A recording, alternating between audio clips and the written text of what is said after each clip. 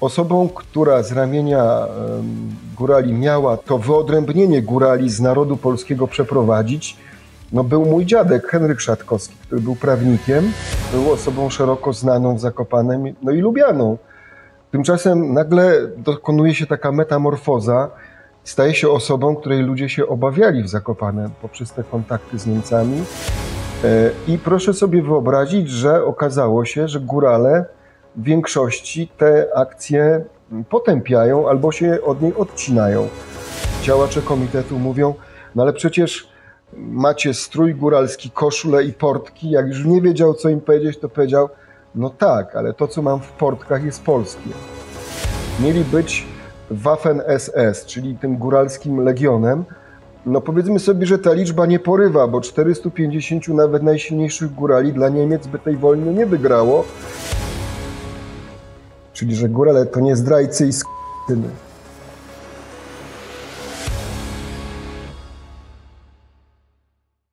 Piotr Zychowicz, historia realna, historia dzieje się na naszych oczach. Dzisiaj, drodzy Państwo, rozmowa o kolaboracji części górali z Niemcami w trakcie II wojny światowej. Okazją jest film Biała Odwaga. Kciuk dla zarysu, fundacji, która wspiera Ukrainę pomocą medyczną, a my pomagamy. Kciuk dla Legimi, biblioteki cyfrowej, która prowadzi akcję Czytamy dla Ukrainy i 10 zł z każdej książki idzie dla zarysu. Kciuk dla KFD, polskiego producenta żywności funkcjonalnej i suplementów diety. K jak KFD, literki mają swoje znaczenie. I last but not least, Speakly, aplikacja do błyskawicznej nauki języków obcych. Sam używam i polecam. A partnerem strategicznym kanału Historia Realna jest catering dietetyczny Pomelo, pyszna i zdrowa dieta pudełkowa, dzięki której oszczędzicie czas. Informacja o rabacie dla widzów Historii Realnej pod spodem. I bardzo, bardzo zachęcam Państwa do subskrybowania naszego kanału. Walczymy o 700 tysięcy subów i przede wszystkim lajkowania e, naszych filmów, bo to bardzo pomaga w pozycjonowaniu materiałów na YouTube. Jedno kliknięcie, a duża pomoc.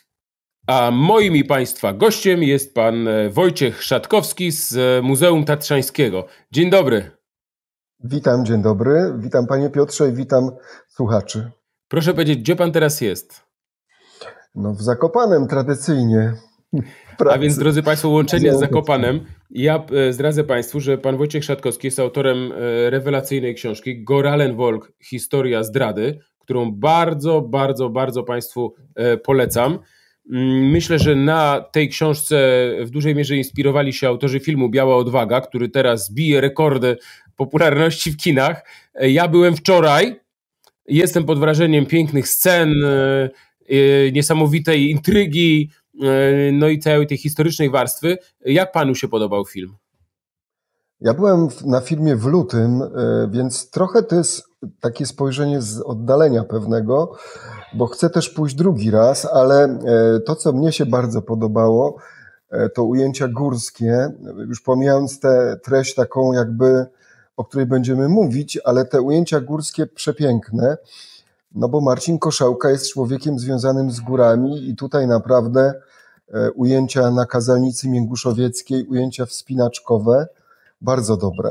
Te Tatry w ogóle wyglądały jak Himalaje trochę, takie wielkie były po prostu w tym filmie. E, magia no, kina. magia kina, zdecydowanie. Ja zdradzę Państwu, nie chcę za dużo mówić, chociaż trochę dzisiaj o film będziemy w trakcie naszej rozmowy zahaczali, ale są trzy wątki. Jeden to góry, Rzeczywiście na wielkim ekranie robi to wielkie wrażenie. E, drugi to miłość, nieszczęśliwa. Tak. No a trzeci to Goralenwolk e, i cała mm, ta wielka e, intryga niemiecka na Podhalu w trakcie II wojny światowej. Więc pierwsze pytanie takie wstępne do pana, co to był Goralenwolk? Ja tutaj właśnie chciałem jeszcze, zanim opowiem, czym był Gorenfolk, chciałem zwrócić uwagę na to, co Pan zwrócił. E, mianowicie to nie jest film jednowątkowy y, i e, jest, nie jest to film tylko o zjawisku Gorenfolk, bo w mediach odnoszę wrażenie, e, się troszeczkę, że tak powiem, okłamuje widzów, mówiąc, że to jest film o Gorenfolku i że to jest film historyczny. To jest film, który bazuje na pewnych wydarzeniach, które miały miejsce na Podhalu, w czasie II wojny światowej, ale to jest film wielowątkowy dotyczący wyborów ludzi. To jest jakby decydujący według mnie element tego filmu w warunkach straszliwej wojny. Do tego dochodzi ten wątek nieszczęśliwej trochę miłości e, dwóch braci, Andrzeja i Maćka, do, do dziewczyny, do góralki, ale też jest pokazana ta no, okrutna rzeczywistość okupowanego Podhala, rozstrzeliwania, terror. No więc, tak jak mówię, jest to film wielowątkowy. A czym był Gorenfolk, to no, warto powiedzieć, że to nie była koncepcja wymyślona przez górali podhalańskich, e, tylko przez Niemców. Jeszcze przed wybuchem II wojny światowej e, Niemcy w ramach realizowania swojej polityki rasowej poszukiwali śladów germańskości. No i wtedy e, podjęli tą karkołomną, zupełnie nieprawdziwą hipotezę, że górale podhalańscy wywodzą się od Germanów. Od Gotów. Co było warunkiem od, no, od Germanów, Goci to Germanie właśnie też. I y, porównywano w okresie międzywojennym spinki gockie z góralskimi, a w warunkach wojny to już po prostu to uległo eskalacji. Niemcy y, uważali, że kultura góralska y, jest germańska. Niebieskie oczy, jasne włosy, nazwy niektórych miejscowości na Podhalu według nich były niemieckie. No i ten znaczek krzyżyka niespodzianego, który był używany przez górali, też był przez nich traktowany jako niemiecki. To była podbudowa oczywiście pseudonauki, która była na usługach nazizmu. No i to chyba, panie Piotrze, co trzeba powiedzieć najważniejszego w tej rozmowie, i od tego chyba trzeba wyjść, to taki punkt wyjścia musi być, że koncepcja Gorenfolku była niemiecka i że to nie górale wymyślili, tylko zostali w to wmanewrowani e, w warunkach wojny na zasadzie takiej polityki, e, którą Rzymianie stosowali. Divida et impera, dziel i rządź. Chodziło o to, żeby wbić klina w naród polski i go podzielić po prostu na takie grupy, które potem będą podlegały germanizacji. No i Niemcom się to dosyć udało dobrze niestety zrobić, bo ten temat do dzisiaj budzi emocje, jak wiemy. E, i rzeczywiście jest trudnym tematem tutaj no, na Podhalu. Panie Wojtku, mam takie pytanie, które zawsze mi się nasuwa, bo no, jeżeli chce się wbić klin, e, tak jak okupanci w naród polski, no to można, nie wiem, Ślązaków, e, których jest parę milionów, wyodrębnić, nie wiem, Kaszubów, ale Górali przecież to jest dosyć niewielka grupa. Dlaczego akurat Górale zostali uznani przez pobratymców rasowych przez trzecią Rzeszę i próbowano ich wykroić z narodu polskiego?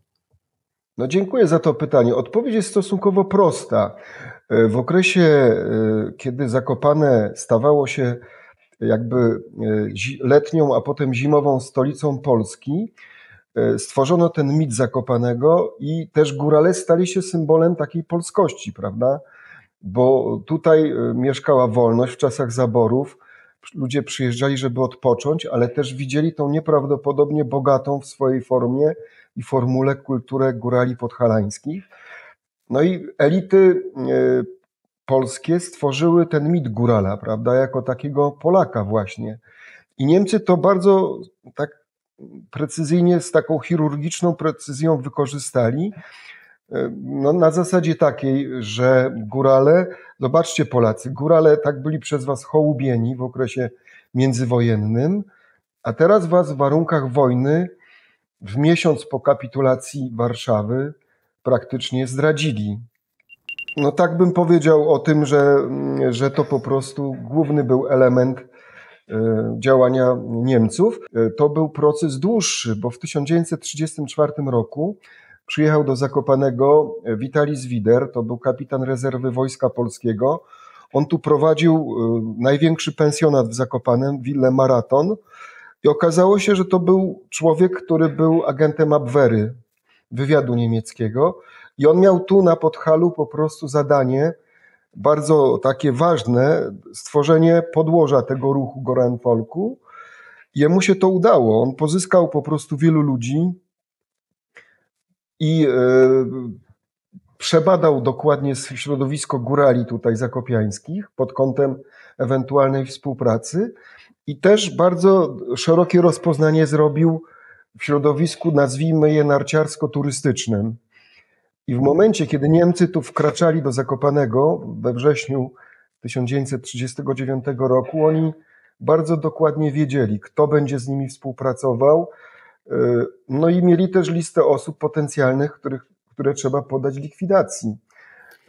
Panie Wójciku, no tylko tak się bo, to zaczęło. Bo chciałbym tylko jedną rzecz, bo uchwycić się daty, którą Pan podał, bo to się zaczęło od razu w 1939 roku i w filmie między innymi jest pewną rolę odgrywa Hans Frank, generalny gubernator. Niektóre sceny filmu, zdradzę Państwu, rozgrywają się na Wawelu i właśnie na Wawelu w listopadzie 1939 roku odbył się tak zwany hołd wawelski, podczas którego, Pan mógł o tym opowiedzieć, że to delegacja górali przyjechała do Hansa Franka i wręczyła mu ciupagę, tak? To było dokładnie 7 listopada 1939 roku. E, tak jak pan powiedział, delegacja górali przyjechała na Wawel. To był pierwszy dzień taki e, urzędowania Hansa Franka jako generalnego gubernatora, więc moment dosyć istotny. I e, górale przyjechali na Wawel, spotkali się z Hansem Frankiem, był wspólny obiad i wręczyli mu prezent, jakby pokazujący, że ta współpraca jest. I dosyć szybko, bo zaledwie pięć dni później Hans Frank razem ze swoją świtą przyjechał do Zakopanego na taką rewizytę jakby i spotkał się z delegacją, delegacją górali tutaj przy ulicy, która dzisiaj nosi nazwę Tadeusza Kościuszki, a wtedy w ramach okupacyjnej rzeczywistości e, to była ulica Bahnhofstrasse, czyli ulica Dworcowa, no i tam doszło do spotkania z liderami góralszczyzny, która szła na współpracę.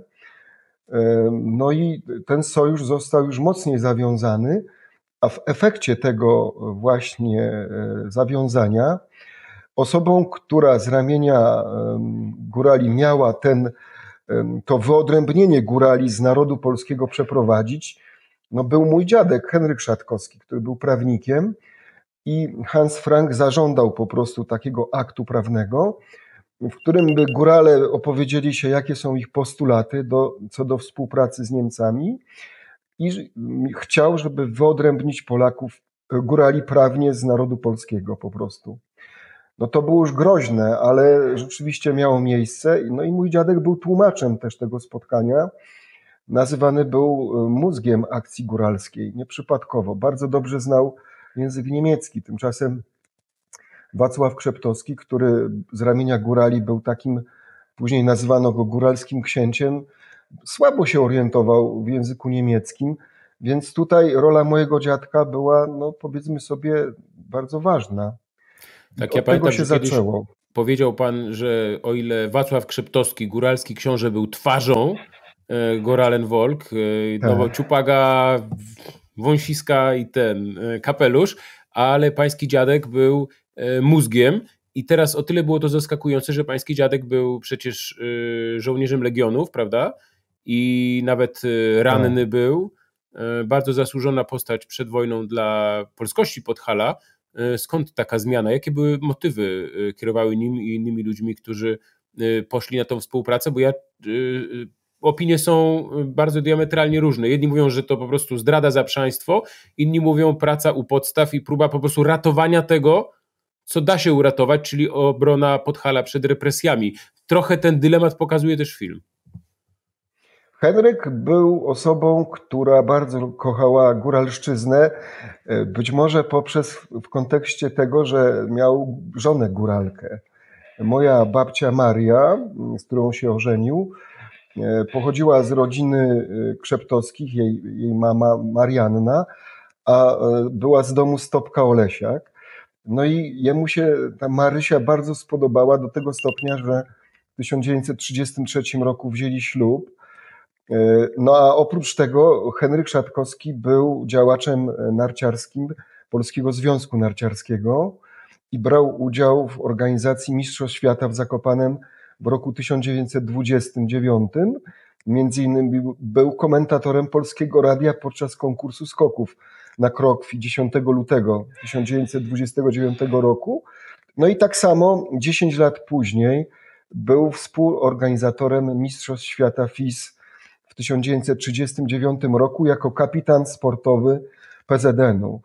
I tutaj, jak rozmawiamy w rodzinie o dzitku, bo tak go nazywamy, to są takie dwa etapy w jego życiu. Pierwszy, wspaniały, ten przedwojenny, czyli y, no, zauroczenie Zakopanem, góralami, Marysią, y, czyli y, ten ślub i te, ta naprawdę no, taka wartościowa przedwojenna działalność.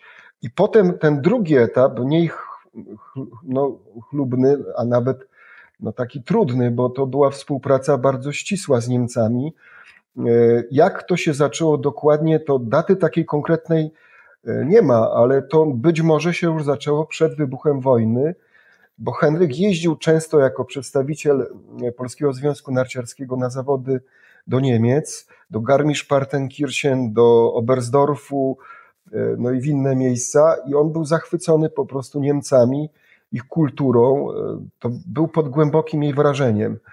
Miał mnóstwo książek też niemieckich autorów, a jak jeździł do Zakopanego, e, wyjeżdżał z Zakopanego, to przysyłał kartki pocztowe jedną z nich podpisał Wasz Ostrogota, czyli to było nawiązanie do tej właśnie e, teorii, że fascynacja germańskością, prawda, Niemcami. E, być może wystąpił też element, o którym nie wiemy zbyt wiele, ale w rodzinnych przekazach on jest, że był szantażowany, że, że rodzina zostanie gdzieś tam wysłana. Niemcy mogli tego użyć, bo przecież często to robili. W każdym razie on się w ten Gorenfolk zaangażował z całą swoją wiedzą. Był osobą bardzo dobrze wykształconą, znał siedem języków, był absolwentem wyboru, Wydziału Prawa Uniwersytetu Jagiellońskiego w Krakowie. No i miał kontakty, był osobą szeroko znaną w Zakopanem, no i lubianą. Tymczasem nagle dokonuje się taka metamorfoza, staje się osobą, której ludzie się obawiali w Zakopanem poprzez te kontakty z Niemcami. Pisał też na maszynie, o tym mi mówił Adam Palmrich, e, takie e, krótkie notatki o nastrojach ludności do gestapo. Więc ludzie się tu go obawiali. To była taka persona, która no może nie budziła grozy, ale obawę, prawda? No i na wszystkich tych, we wszystkich tych spotkaniach, o których mówiliśmy, czyli spotkanie na Wawelu 7 listopada, rewizyta w Zakopanem Hansa Franka i jego świty 12 listopada, Henryk tam wszędzie jest. Ma na zdjęciu taki trolski kapelusz, płaszcz, jest tłumaczem po prostu pomiędzy Hansem Frankiem a Wacławem Krzeptowskim, czyli jego tutaj rola była bardzo ważna. Zaraz, zaraz jeszcze wrócimy do y, tej motywacji, bo to jest właściwie najważniejszy y, z aspektów działania Goralen Wolk, ale chciałbym widzom też troszeczkę przedstawić skalę tego zjawiska, bo to jeszcze nie padło, a to dobrze ustawi naszą rozmowę.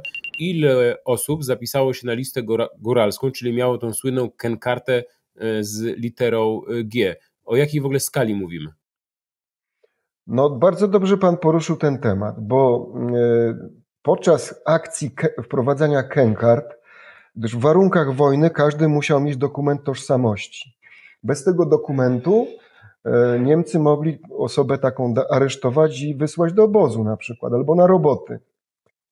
W 1942 roku, czyli po trzech latach wojny, Niemcy postanowili przekonać się, czy poparcie dla tej idei Gorenfolku jest duże, czy też jest znikome. Postanowili to zrobić w ten sposób, że wprowadzili e, podczas akcji wprowadzania dokumentów tożsamości kękartę takiego niebieskiego koloru z literką G, czyli Goralen. No i liczyli, że ludność tutaj na Podhalu to wszystko poprze E, poprze Komitet Góralski, który już wtedy działał na czele z Wacławem Krzeptowskim. Ten komitet miał kilkanaście delegatur tu rozsianych po Podhalu, od Czarnego Dunajca po Szczawnicę. E, I proszę sobie wyobrazić, że okazało się, że górale w większości te akcje potępiają albo się od niej odcinają, bo e, tych kękart góralskich G pobrano w sumie 27 tysięcy to było niecałe 17% ludności Podhala. No więc powiedzmy sobie szczerze, że to nie było dużo. E, dodatkowo e, tutaj trzeba powiedzieć jedno, i to chciałbym, żeby to wybrzmiało w pełni. to jest bardzo ważne, że ktoś, kto pobrał kękartę G, czyli Goralen, wcale nie musiał być zdrajcą, bo ludzie pobierali takie kękarty, jakie im dawano. Było wielu ludzi niepiśmiennych, którzy nie wiedzieli, co to w ogóle jest. I na przykład w niektórych wioskach, skoro przedstawiciele miejscowej elity brali te kękarty, to oni też brali po prostu, bo czuli się góralami. I zostali w sposób taki instrumentalny wmanewrowani w te teorie. Na przykład y, we wsi Ciche miejscowi działacze Komitetu Góralskiego stwierdzili, że tam w tej wsi nie ma żadnych Polaków i wszystkie kękarty polskie zostały potargane. Więc mieszkańcy wsi Ciche mogli pobrać tylko kękarty z literką G. No więc jaka to była ich wina, prawda? Chciałbym, żeby to nasi słuchacze zrozumieli, że pobranie kękarty nic nie oznaczało, bo można było też pobrać kękartę polską i być zwykłym draniem, prawda, i donosić na ludzi. Tutaj górale brali to, co się dało.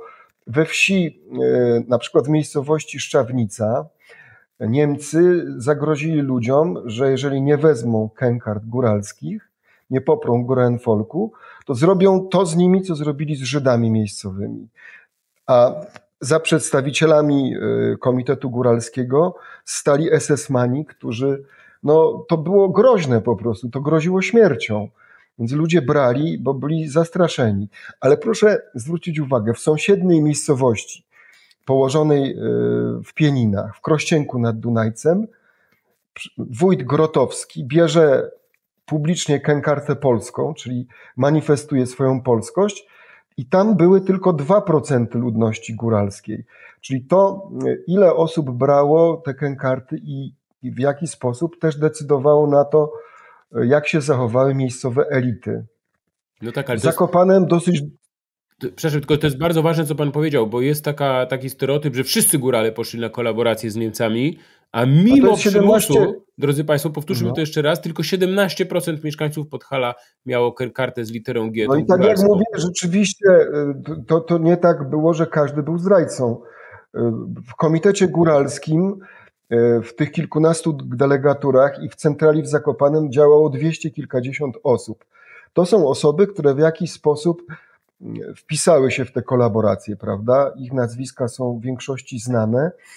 Natomiast taka szara e, masa ludzi, którzy mieszkali na Podhalu, ścierali się mimo tego, że mieli kękartę góralską codziennie z tym, że mogli być wysłani do Rzeszy, mogli być e, wysłani na roboty do Austrii, mogli trafić do Auschwitz, mogli zginąć za to, że ktoś im powiedział, że pomagają partyzantom.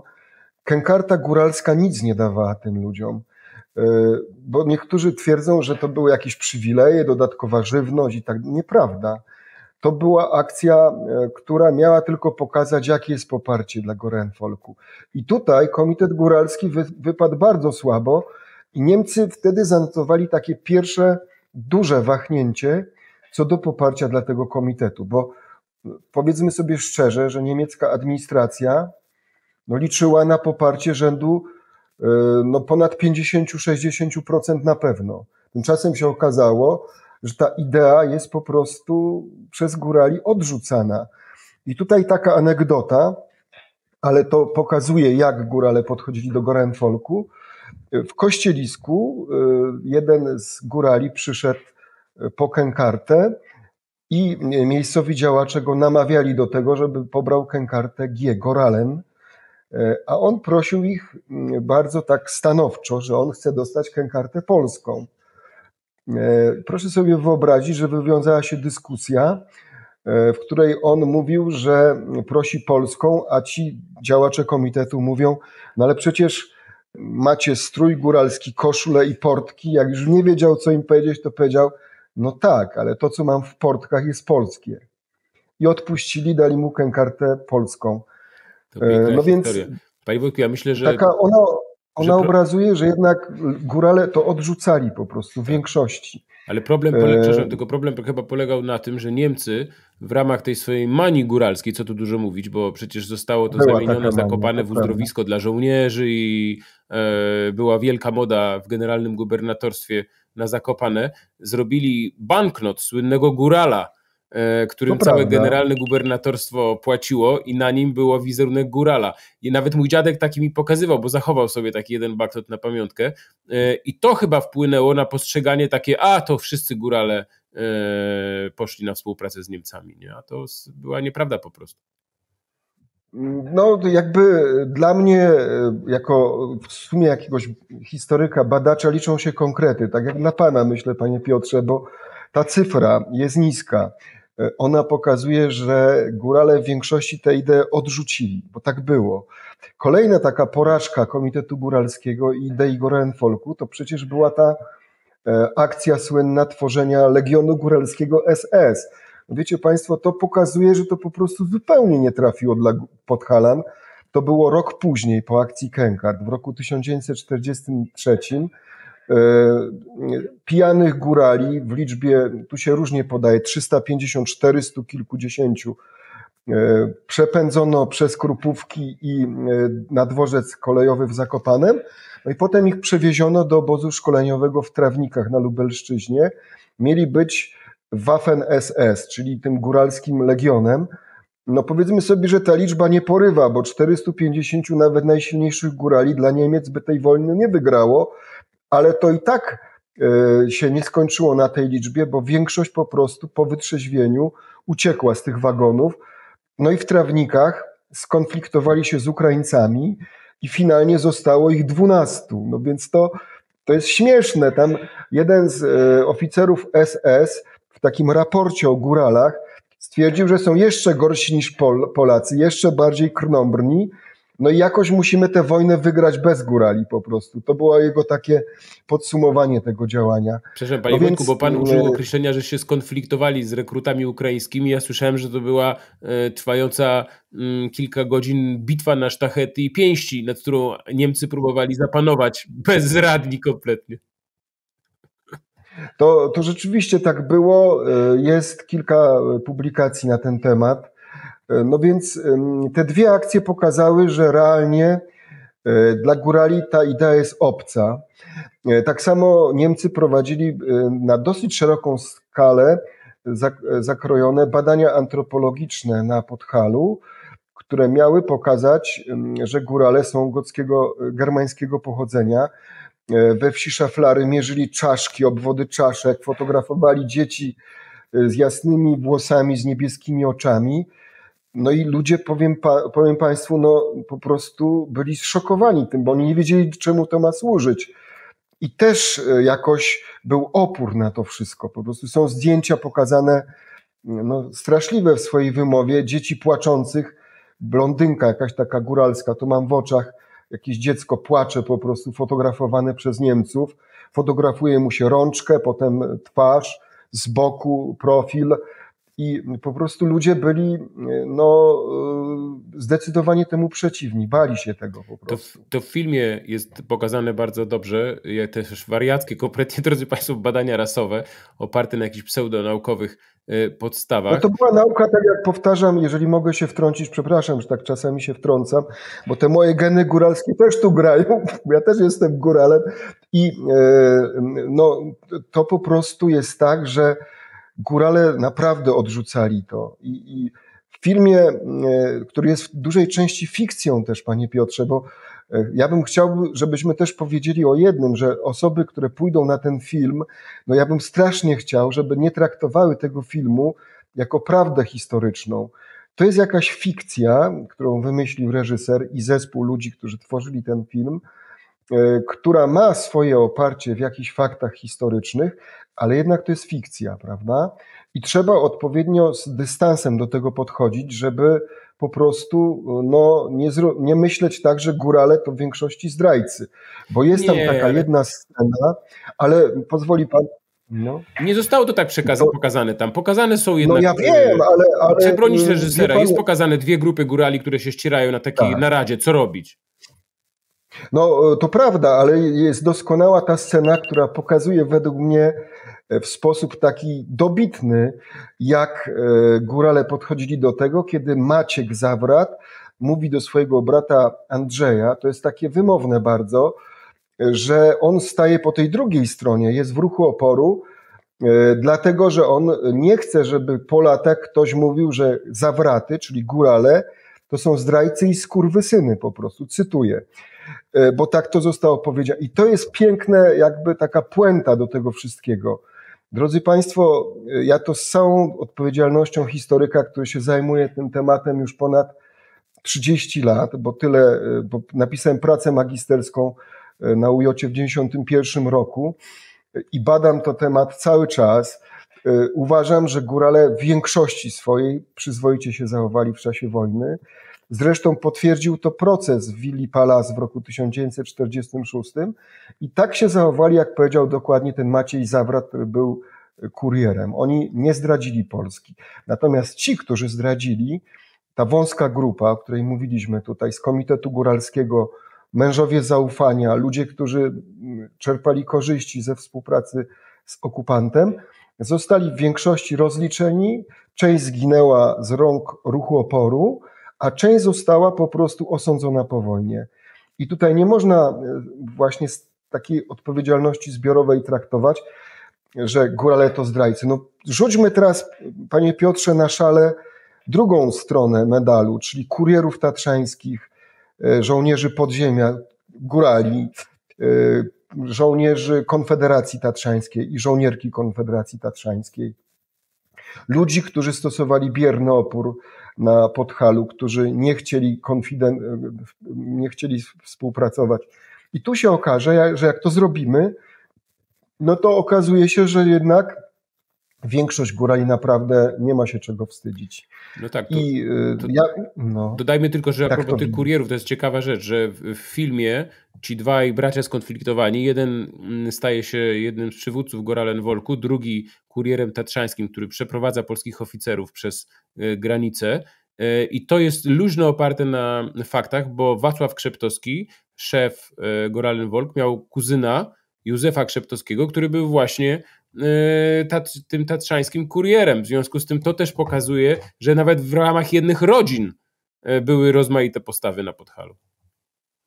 No właśnie, Józef Krzeptowski kiedyś został zapytany przez Wojciecha Adamickiego, e, dlaczego się tak narażał w czasie wojny.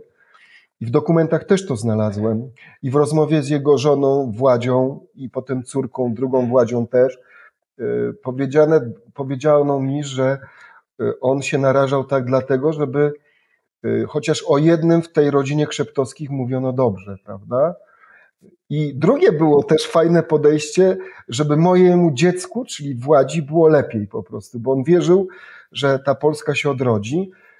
I w ramach placówki Komendy Głównej AK Zagroda do Budapesztu Józef Krzeptowski przeszedł aż 58 razy. Tak się przynajmniej przyjmuje. To bardzo duża liczba, a po wojnie został zesłany za swoją działalność w strukturach polskiego podziemia i Armii Krajowej na Syberię na trzy lata, więc zapłacił wysoką cenę. E, no ale rzeczywiście to pokazuje pewne wybory, bo ten film Biała Odwaga to jest film o wyborach, e, że w ramach jednej rodziny góralskiej e, były takie podziały, że z jednej strony Józef, bohater, a z drugiej strony Wacław, ale tutaj o tym Wacławie, ja tutaj bardzo ostrożnie bym się wyrażał, bo pan powiedział o tym, że była taka chęć ratowania góralszczyzny.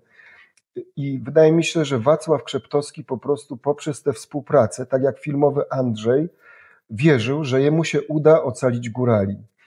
E, oczywiście e, to było tak, że to było trochę naiwne, bo no, no Niemcy mieli własne plany wobec Polaków, górali, Żydów, i te jego chcieństwo ratowania mogło się zetrzeć z tym, co planowało SS i Heinrich Himmler chociażby i administracja generalnego gubernatorstwa, bo Niemcy wcale e, nie chcieli górali wszystkich, tylko oni chcieli ich poddać germanizacji i tylko te jednostki, które będą chciały współpracować, przetrwają. Oni twierdzili, że górale to lud zdolny do życia, tak to było powiedziane, czyli dawali mu szansę na życie, na życie, ale tylko tym jednostkom, które poddadzą się procesowi germanizacji.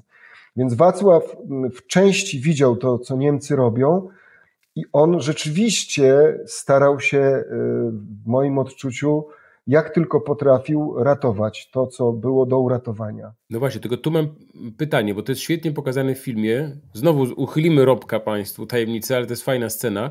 E, główny bohater, który podejmuje tą współpracę, jest fetowany, można powiedzieć, przez Franka na Wawelu, ale potem kiedy jest złożona mu de facto ta oferta stworzenia Goralen-Volk, jest zaprowadzony do jakiejś katowni i pokazują mu tam rozstrzelanych Polaków.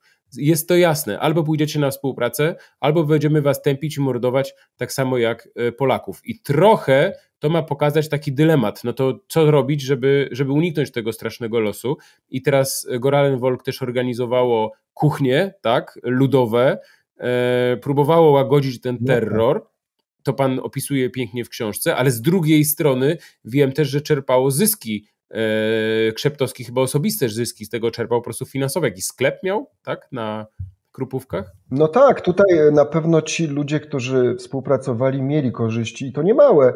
Mieli sklepy w Zakopanem, e, mieli e, przydziały żywnościowe zupełnie inne, ale to tylko ci działacze komitetu. Górale tacy zwykli, którzy mieszkali tutaj na Podhalu w Zakopanem w Kościelisku, no, no biednie się im żyło, bardzo, na, na pograniczu praktycznie głodu. Głód był powszechnym czymś wtedy, w czasie wojny. No i ta taka ciągła, ciągły strach, że się zostanie wywiezionym. Niektórzy y, po prostu y, gdzieś mieli schowane jakieś krowy, żeby tam przeżyć, prawda? że zostanie to odkryte. Niektórzy pomagali partyzantom, no to też było jasne, że może być sroga kara i były przecież pacyfikacje tutaj wiosek całych na Podhalu, mimo Gorenfolku. I to pokazuje prawdziwe działania Niemców. Rzeczywiście ta część działaczy, którzy byli w komitecie, czerpała e, z tego faktu jakieś korzyści, ale tak jak mówię, większość górali, taka ta masa, która była dziesiątki tysięcy ludzi. Naprawdę y, podobnie jak Polacy, górale to też Polacy oczywiście, ale jak cały nasz naród, no, przeżyli moment krytyczny w swoich dziejach y, po prostu. No dobrze, teraz y, temat, który musimy poruszyć, czyli Goralen, Volk a Holokaust. W trakcie okupacji Niemcy wymordowali właściwie prawie wszystkich Żydów z mm, Podhala. Czy Goralen Volk miał w tym jakiś swój udział w postaci, nie wiem, donoszenia, pomocy w jakiś sposób? Bo w filmie, z tego co pamiętam, to jest jedna scena, kiedy jeden z głównych rodów, przedstawiciel jednego z głównych rodów Podhala mm, podpisuje tą listę góralską, no to mówi, że on chce coś w zamian. Niemiec pyta co, on mówi żydowski sklep na Krupówkach. Czy to było tak, że to, co Żydzi pozostawili, pensjonaty, sklepy, mm, to trafiło w ręce tych działaczy? Tu trzeba powiedzieć jedno, że y, akt prawny, który stworzył mój dziadek Henryk Szatkowski w roku 1940 i który został przedstawiony władzom generalnego gubernatorstwa, w tym Hansowi Frankowi, zawierał niestety pewne elementy antyżydowskie i antypolskie no, najpierw było antypolskie, potem antyżydowskie. Było tam w tym memoriale stwierdzenie, że Żydzi jak kamień u szyi ciążyli tutaj góralom i po prostu no, no takie stwierdzenie tam jest. I e, tutaj odsyłam Państwa do znakomitej e, publikacji e, doktora Henryka Josta. Została ona całkiem niedawno wznowiona, Zakopane czasu okupacji jest tam dokładnie przedstawiona historia Żydów zakopiańskich, którzy e, no po prostu zostali przez Niemców poddani krytycznej eksterminacji wyniszczeniu, tak jak Żydzi w ogóle. E, część, tych, e, część tego majątku została zniszczona, część została rozburzona, jak synagoga żydowska. Zdewastowano cmentarz żydowski na Bachleckim Wierchu, gdzie było kilkaset nagrobków. No więc Niemcy zdecydowanie przystąpili do akcji czyszczenia wszelkich śladów y, pożydowskich w Zakopanem. Y, czy ci działacze Gorenfolku mieli z tego korzyści? Zapewne jakieś te korzyści były.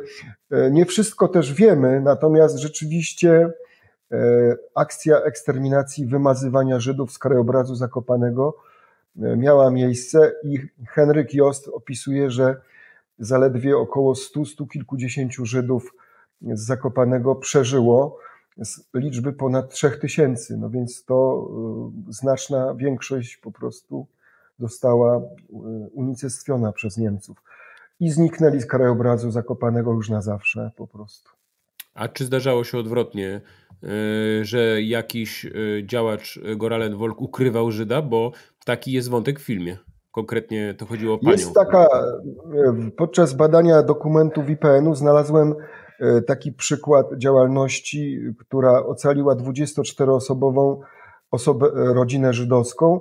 Ta rodzina po prostu pobrała kękarty góralskie i oni byli traktowani jako górale. Mieszkali tu w rejonie Gubałówki już nie pamiętam dokładnie, ale podczas procesu góralskiego w 1946 roku taki przypadek był i być może takich przypadków było więcej. No ale jednak mm, sama koncepcja y, Goren Folku, tak jak powiedziałem, zawierała mocne akcenty antyżydowskie. Na pewno. No tak, wiem, że jest taka badaczka, yy, pani Panc, która bada y, kwestię stosunku y, ludności Podhala do y, Żydów. Wydaje mi się nawet, że w tej książce głośnej dalej jest noc, jest jeden rozdział poświęcony tej problematyce. Mamy do czynienia też ze zbrodnią powojenną, to w Krościenku, prawda? Na grupie Żydów, tak. którzy próbowali się przedostać na Słowację, z tego co pamiętam, i tam jacyś podwładni ognia ich zabili. Jak... No i mamy to morderstwo e, na naczelniku TOPR-u Józefie Oppenheimie, które miało miejsce w styczniu 1946 roku. To była też osoba pochodzenia żydowskiego, no ale takich morderstw było więcej. No właśnie, ale ciekawi mnie, czy to jest w jakiś sposób związane z Goralen Wolkiem? Czy Goralen Wolk e, tworzył antysemicki klimat na Podhalu, czy po prostu to są dwie niezależne od siebie, dwa niezależne od siebie zjawiska? Trzeba by to było pod tym kątem przebadać. Ja osobiście aż tak się głęboko nie zagłębiłem. Natomiast to, co pamiętam, to właśnie ta rodzina, która ocalała dzięki kękartom góralskim. No i rzeczywiście e, Żydzi zostali wymazani z krajobrazu Zakopanego, mimo że stanowili znaczną grupę przed wojną, bo przypomnijmy, Zakopane przed wybuchem II wojny światowej było dwudziestotysięcznym miastem, od roku 1933 i około 3000 to jest znaczna grupa, prawda? E, tak samo Nowy Targ, prawda? No i tak jak mówię, to mienie zostało, e, zostało przez Niemców e, po prostu przejęte. No dobrze, chciałem teraz tak zapytać o, o, Wacława Krzeptowskiego, bo mm, to jest ta postać, y, którą się wszyscy kojarzymy z Goralen Wolkiem, y, książę góralski, nazywany też Goralenführer e, przez Niemców. No i pada takie stwierdzenie, podobno ktoś kiedyś mu powiedział, oj Wacek, będziesz wisiał.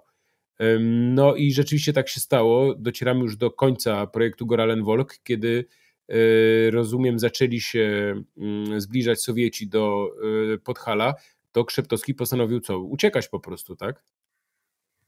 Wie pan, no to jeszcze może wyjaśnię, że Wacław Krzeptowski wywodził się z bardzo znanej e, rodziny e, na Podhalu, rodziny Krzeptowskich.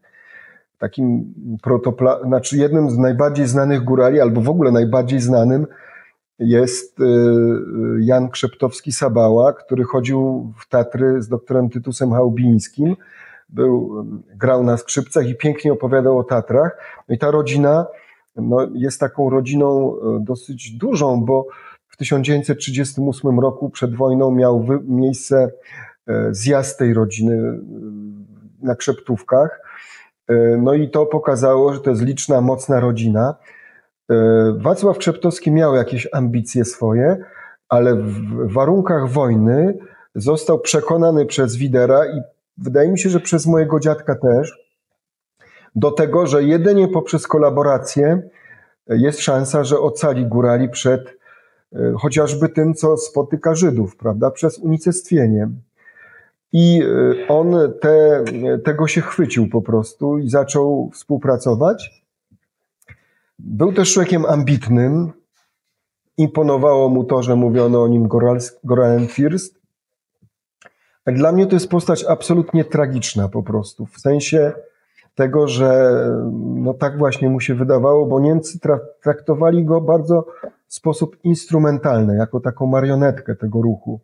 pokazywali się z nim na fotografiach. Taki nadworny fotograf generalnego gubernatora Rosner sfotografował go z Hansem Frankiem.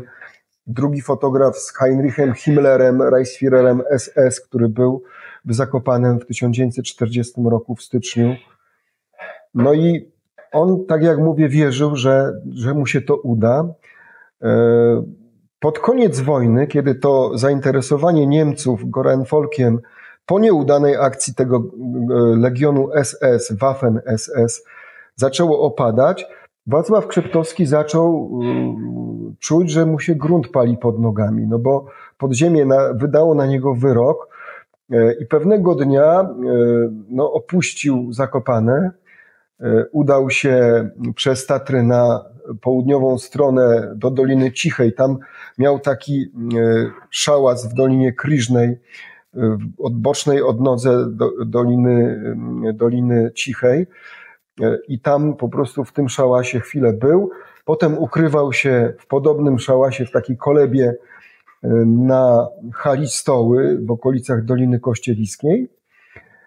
No a potem w 1945 roku, w styczniu, Partyzanci z oddziału Tadeusza Studzińskiego, y, Kurzawy, y, y, po prostu przejęli go od brata w kościelisku w jego domu, no i przeprowadzili go na Krzeptówki, gdzie niedaleko siedziby rodowej, niedaleko właśnie siedziby Sabały, tego domu Sabały, dokładnie na ulicy dzisiaj przewodnika Józefa Krzeptowskiego, Wacław Krzeptowski został e, powieszony w nocy e, na, na jednym ze świerków za zdradę narodu polskiego.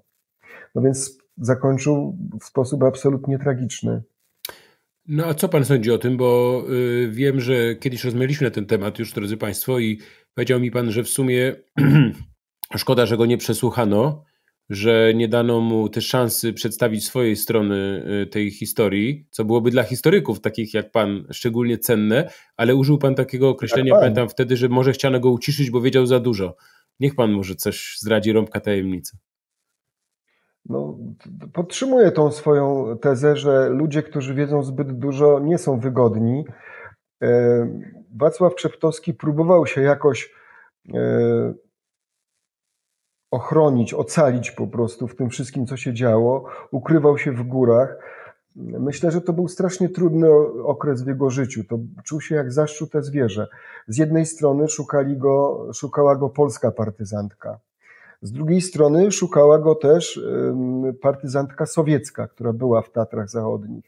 No i wreszcie Niemcy szukali góralskiego księcia, bo on im nagle wyparował jak mgła z Peszniańskiej Przełęczy, zniknął po prostu z siedziby komitetu tutaj przy ulicy Kościuszki i też go zaczęli szukać. Czyli ten człowiek po prostu był poszukiwany przez wszystkich.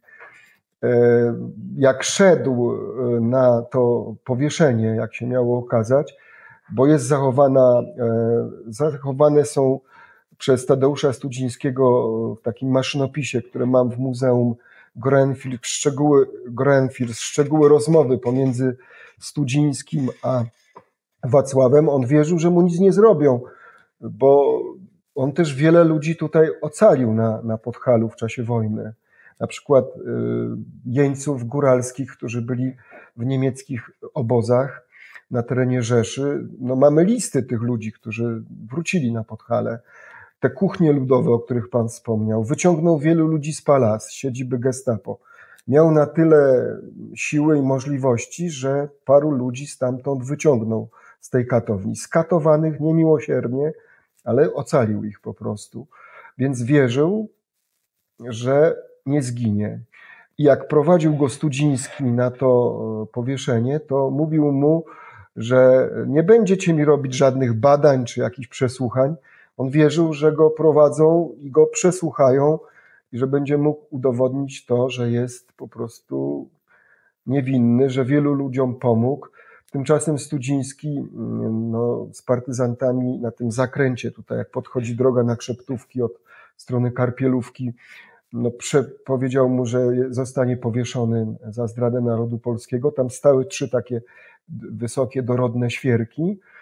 No i około godziny 22.30 tego dnia został po prostu e, powieszony za zdradę narodu polskiego, chociaż chciał kulę, no ale Studziński powiedział, że kula to jest kara, no, że to jest wyrok honorowy, a ty jesteś zdrajcą, no i został powieszony. Ja uważam, że przesłuchanie Wacława Krzeptowskiego e, no, wyjaśniłoby bardziej kwestię Gorenfolku, na pewno. E, no być może skazany, a nawet na pewno zostałby przez nowe władze na karę śmierci, ale jednak wiedzielibyśmy więcej niż e, po prostu wiemy. Natomiast stało jak się stało, stało się jak się stało. Potem został przez rodzinę odcięty, e, no i, no i pochowany. No więc to, tak jak mówię, tragiczna postać. Zapłacił za tę współpracę z Niemcami najwyższą cenę. Tak, on po prostu, mi to się wydaje, że postawił też na złego konia, w tym sensie, że on chyba nie sądził, że, no wierzył, że Niemcy wygrają, prawda, tą wojnę i że yy, jak pan kiedyś mówił, Polskę czeka kolejne, nie wiem, 100 lat rozbiorów i on sobie spokojnie dożyje końca yy, pod tą niemiecką okupacją, współpracując. Wojna się potoczyła inaczej, trzecia Rzesza się zawaliła, no i takie były. No tak, ale tutaj, panie Piotrze, wejdę w słowo, bo pamiętajmy, że Pierwsze lata wojny to były naprawdę takie mm, doniosłe sukcesy armii niemieckiej i w ogóle Niemiec hitlerowskich. Polska, no wcześniej Czechosłowacja, prawda, i Austria. Potem atak na Francję, która się wydawała potęgą nie do pokonania, militarną, e, pokazały, że Niemcy są niesłychanie sprawni.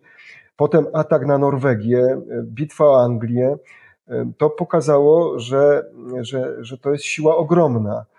I podobno e, ja to spotkałem się z taką e, właśnie e, interpretacją tych wydarzeń, że w rodzinie Wacława mówiono mu, że, że nie sztuka umrzeć, nie sztuka żyć. I on po prostu się tego chwycił, tej idei i wierzył, że jako góralski książę będzie mógł tę góralszczyznę ocalić. E, no i tutaj mm, po prostu pytanie, czy to była naiwność, czy, czy kalkulacja chłodna? No na pewno nie. Tutaj trzeba po prostu powiedzieć, że wierzył w to. Niemcy do 1943 roku przecież wszystko w tej wojnie wygrali, prawda? No już wtedy było wiadomo, że, że po prostu ci ludzie, którzy nie będą współpracować, znikną, tak jak Żydzi zniknęli. No więc według niego to była szansa na przetrwanie po prostu. A w momencie, kiedy wojna się odwróciła, na szczęście, bo e, pod Stalingradem i pod Alamein Niemcy zaczęli przegrywać wojnę, e, no to już wtedy mm, Wacław Krzeptowski wiedział, że to, co go czeka za tę zdradę, to będzie śmierć po prostu. Tak jest. No dobrze, a jak potoczyły tak samo się losy... zresztą. A jak, tak? Potoczyły się losy drugiego yy, przywódcy Gorany Wolku, czyli pańskiego dziadka Henryka Szatkowskiego? Mój dziadek y, opuścił Zakopane jesienią 1944 roku. Y, doszło tutaj do takiej krytycznej rozmowy między nim a Marysią, moją babcią, która, tutaj dodam, absolutnie nie popierała działalności dzitka i w czasie akcji Kękart Maria pobrała Szatkowska Kękartę polską to pokazuje, że no, historia mm, tak się potoczyła, to była twarda góralka. E, wie pan, ja pamiętam, jaka ona była, była wspaniałą osobą i ona się z tym ruchem góralskim nie identyfikowała. I wtedy Henryk, który widział jej taką nieprzejednaną postawę, powiedział, że on już nigdy się e, nie odezwie, że wyjeżdża. Sprzedał swoją bibliotekę, aparaty fotograficzne, które miał bardzo cenne i wyjechał y, z Zakopanego, tak jak mówię, jesienią 1944 roku. Maria y, została z trójką dzieci w domu jako no, żona zdrajcy, prawda? A on przedostał się najpierw do Krakowa. Tak wyglądałoby z tego, co mnie się udało odtworzyć, a potem udał się na południe Europy przez, przez Słowację do Austrii, do miejscowości Zemmering taki kurort narciarski i z Zemeringu przedostał się do Włoch, gdzie ukrywał się w przebraniu mnicha. Takie, do, takie mamy y, ślady o Henryku. ale został rozpoznany przez jednego z ludzi, no bo był zakopanem, tak jak mówiliśmy, osobą znaną. Przeprowadzono mu taki pokazowy proces. Podobno ten proces był na statku. Tak relacjonował Dziennik Polski. I trafił na teren, na teren Anglii, i tam prawdopodobnie mm, ukrywał się, bo w dokumentach Urzędu Bezpieczeństwa, które znalazłem w IPN-ie, to było 288 stron sprawy dotyczącej mojego dziadka. Jest wyrok śmierci na nim, znaczy y, wyznaczony na niego, bo ten wyrok nie został przeprowadzony. Władze skazały go za zdradę narodu na karę śmierci. I ostatnia e, karta z tego wykazu nosi datę roku 1960. Jest tam informacja, że ukrywał się na terenie Londynu jako urzędnik, ale nie ma podanego miejsca, gdzie. No więc yy, tak przyjmujemy, że był w tym Londynie. Ale nie nawiązał żadnego kontaktu z rodziną, z dziećmi, z żoną?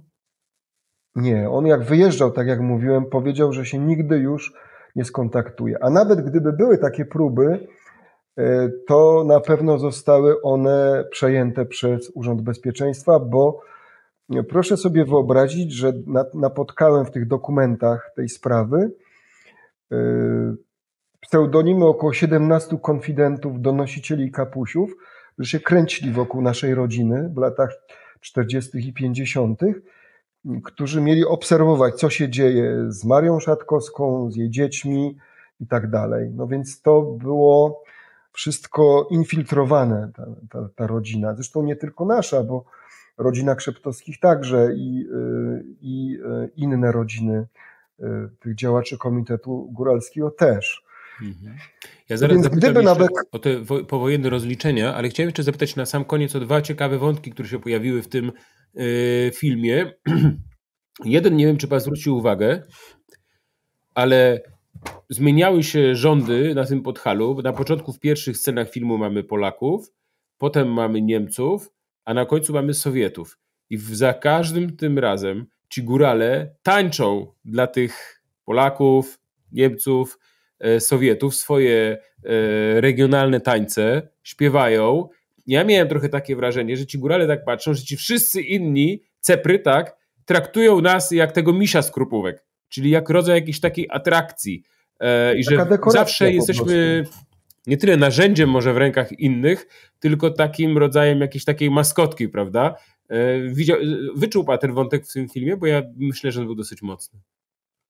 No tak, tam jest wiele wątków. Tak jak mówię, tutaj trzeba też słuchaczom, żeby być fair wobec y, widzów i wobec potencjalnych odbiorców filmu Biała Odwaga, trzeba powiedzieć, że to nie jest film o Goren Folku, bo, bo to przed rozmową żeśmy o tym mówili, ale to trzeba powiedzieć, że to nie jest tylko film o tej zdradzie. Tam jest wiele elementów. Góry, miłość, jest y, okupacja pokazana, badania antropologiczne, jest pokazana wspinaczka na Mięguszowiecki, piękna, te sceny górskie, y, no i y, współpraca, ale też i kurierstwo, więc te wątki są różne.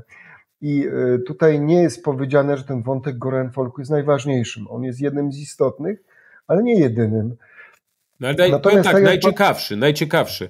Chociaż y, panie, które, bo zasięgnąłem trochę opinii kobiet, które były na filmie, mówią, że im się bardziej podobał wątek miłosny w tym trójkącie.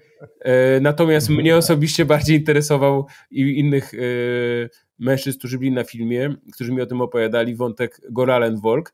I tam jest taka scena, na przykład, nie wiem, czy pan pamięta, że jak Hans Frank przyjeżdża pierwszy raz do górali, to ci starzy górale z tymi brodami mają mundury armii Austro-Węgier. No bo przecież pamiętajmy, drodzy Państwo, że to był zabór austriacki i oni mówią, żeśmy tam za cesarza walczyli, w związku z tym no w pewnym sensie pewne połączenie z kulturą niemiecką, z językiem było ze starych czasów.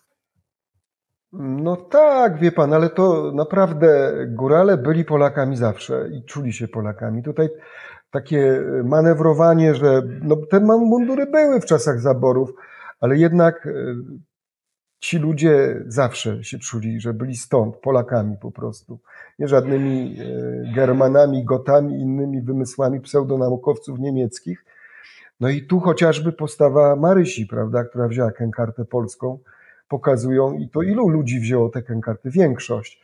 Pokazuje, że oni nie chcieli tego Goran Folku. To zostało im sztucznie narzucone po prostu. E, a ci, którzy po prostu współpracowali, zostali przez później zostali rozliczeni. E, pojawili się Sowieci oczywiście, którzy być może nawet chcieli przejąć Wacława Krzeptowskiego i e, żeby się, żeby się dowiedzieć więcej, albo, albo żeby im służył jako źródło informacji, no ale akowcy od Studzińskiego ich wyprzedzili i po prostu Wacława Krzeptowskiego powiesili. Natomiast po wojnie miało miejsce kilka procesów e, działaczy Komitetu Góralskiego i ludzi, którzy wiązali się z tą akcją, a najważniejszy z nich miał miejsce jesienią roku 1946 właśnie w siedzibie e, Gestapo, dawnej siedzibie Gestapo, w Willi Palace przy ulicy Chałbińskiego obecnie. No i tam e, konkluzja tego procesu była taka właśnie, że górale w większości zachowali się w porządku.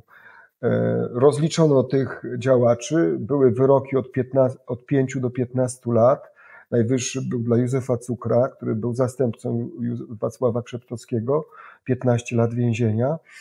E, no i potem były pomniejsze jeszcze procesy, y, no ale generalnie y, taki troszeczkę y, smród pozostał po prostu po tym wszystkim. No właśnie o no to no chciałem zapytać na koniec, bo jak reszta Polaków traktowała zaraz po wojnie górali? Ja słyszałem, że w Krakowie górale jak przyjeżdżali sprzedać jajka czy jakieś inne, czy oscypki, to mieli kłopoty. To się zdarzało, rzeczywiście, ma pan rację. E, dlatego górale zawsze brali ze sobą, jak jechali gdzieś w kraj, e, po prostu ciuchy cywilne, ubranie cywilne, żeby się nie odznaczać tym strojem. E, temat nie został zamieciony pod dywan, ale długo był mało opracowywany. Pierwszą osobą, która podjęła się tego, był Włodzimierz Wnuk, który napisał książkę Walka podziemna na szczytach. E, już w 1948 roku pierwsze wydanie, on tam pisał o Gorenfolku, e, do Góral właśnie, prawda? E, w książce o Konfederacji Tatrzańskiej znajdziemy adnotację, że Konfederacja powstała, żeby właśnie Górale sami załatwili sprawę Gorenfolku, prawda? No ale to się nie udało, bo zostali na wskutek donosu przez Niemców aresztowani w większości. Kurierzy też chcieli zmazać tę hańbę, prawda? Marusarze, kule, fronczyści. No dobrze. No więc. E, no i, to, i to, ten proces pokazał właśnie, że przesłuchano w nim e, ponad 250 osób, 250 świadków, i on pokazał, że, że rzeczywiście ta akcja przez Niemców miała szeroki zakres propagandowy, prawda? I tutaj dlatego ona e, trafiła na takie szerokie podłoże, prawda? Bo w kraju rzeczywiście okupowanym, gdzie straszne rzeczy się działy, traktowano część górali jako zdrajców. I do dzisiaj, do dzisiaj są różne reakcje na ten e, temat, bo jak rozmawiałem po prostu z ludźmi, różnymi góralami na terenie Podhala na ten temat, no to nieraz taka była jak się dowiadywali, że chcę rozmawiać na temat kolaboracji Goran Folku, to taka schodziła za, zasłona milczenia po prostu. Ja się zupełnie tym ludziom nie dziwię, bo y, tym tematem, ten temat się nieraz wykorzystuje przeciwko góralom, żeby im dokopać. Y, no, chociażby y, na kilku portalach widziałem komentarze takie, że to po prostu te moje olesiackie geny to troszeczkę zawrzały, bo po prostu to, to, to się do niczego nie kwalifikuje, tylko do bitki. No ale dobra.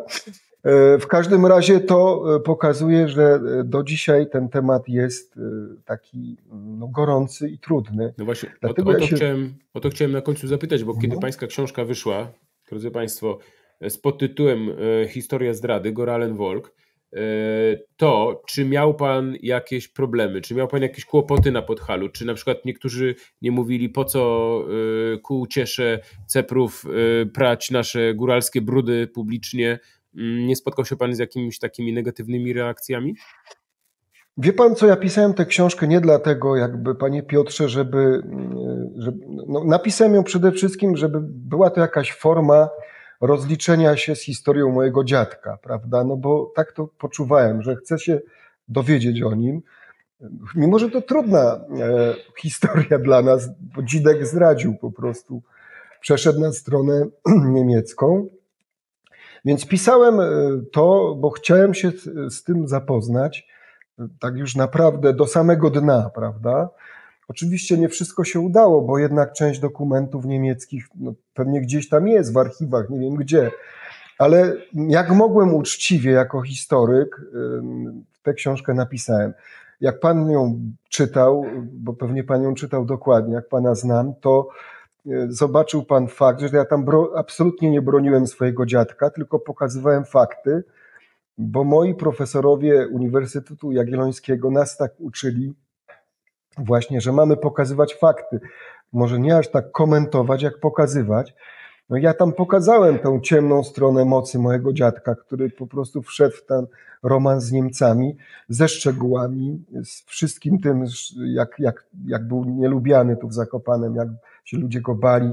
Nic nie kryłem, naprawdę. Tutaj mm, jakby to działanie było oparte też na dokumentach, na, na, na wspomnieniach ludzi. Jak rozmawiałem z ludźmi, proszę mi wierzyć, jak się dowiadywali, że jestem wnukiem tego Szatkowskiego, to po prostu otwierali szeroko oczy ze zdumienia, jak jeszcze się dowiadywali, że ja piszę książkę o Goran Folk, no to już w ogóle po prostu. Ale były też oczywiście, oprócz tych pozytywnych odzewów, no takie negatywne y, sytuacje. No i ja się nie dziwię. Ja byłem przekonany, y, że takie będą i były. No i rzeczywiście, tak jak mówiłem już wielokrotnie, ja się góralom nie dziwię, bo ten temat jest w rozmowach o Podhalu często podchwytywany i się ludzi wrzuca do jednego worka z tym misiem skrupówek, który ostatnio też podpadł i się wrzuca, że, że górale są pazerni i w ogóle to jest, to jest nie w porządku według mnie i tak nie powinno się robić.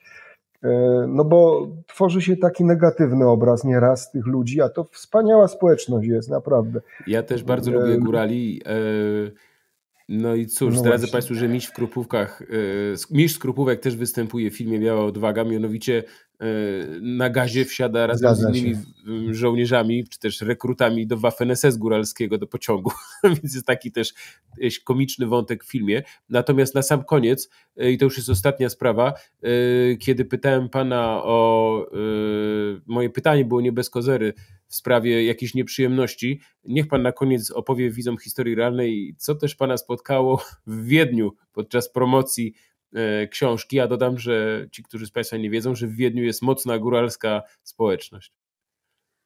No były e, takie e, jakby, jakby sygnały z tego środowiska, że przyjdą na to spotkanie i zrobią porządek z nami. Tej pani, która to organizowała w takiej bardzo zresztą ładnej kameralnej sali, no takie odgłosy były i została zatrudniona ochrona no ale wie pan, ja to bojący człowiek się nie jestem, więc uważałem, że to jest zbędne. No ale e, tak samo w Kościelisku, jak był pokaz w Gminnym Ośrodku Kultury w Gokrze, no to też były takie e, głosy, żeby mnie zakrzyczeć, żebym nie mógł się wypowiedzieć. Ale tak jak panu mówiłem, nie dziwiłem się. We Wrzeszowie na przykład pani twierdziła, że ile jeszcze razy będziemy, taka góralka, która tam mieszkała, ile jeszcze lat będziemy odpowiadać za ten Goraen Folk i się wstydzić. No więc to mi pokazało, że dla ludzi tutaj z Podhala dalej to jest trauma. Dlatego podchodząc do tego filmu, należy zachować daleko idącą y, ostrożność, bo, bo to nie jest film y, dokumentalny, tylko to jest film zbudowany na fikcji i trzeba tutaj mm, bardzo ostrożnie wyciągać wnioski. Y, I żeby na koniec powiedzieć, e, chcę, chcę na koniec powiedzieć jedno, że ten temat był podejmowany w książkach Alfonsa Filara, e, doktora Janusza Berghausena z Uniwersytetu Warszawskiego pod Hale w czasie okupacji, doktora Henryka Josta, czyli Zakopane czasu okupacji, no i w innych publikacjach były filmy dokumentalne.